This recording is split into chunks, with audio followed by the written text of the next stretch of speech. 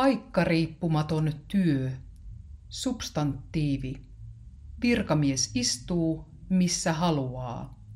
Joskus myös synonyymi etätyölle.